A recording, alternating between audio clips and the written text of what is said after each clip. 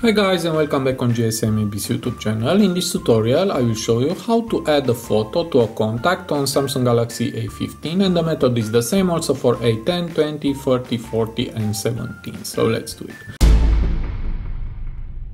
So first just go to contacts and uh, here there are my contacts and the first thing that you must do is to copy from SIM to your phone. For that just uh, go to these three dots and uh, select uh, manage contacts and uh, hit import and uh, just hit uh, import again from SIM okay select contacts and uh, hit done and select phone and hit import and uh, now my uh, contacts are on my phone. As you can see I have five contacts on my SIM and five contacts on my phone.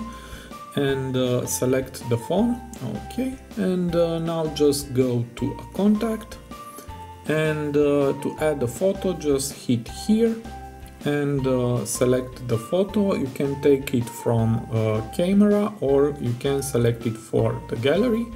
Just hit gallery select your photo uh, you can adjust here the photo okay and uh, hit done and uh, again hit save.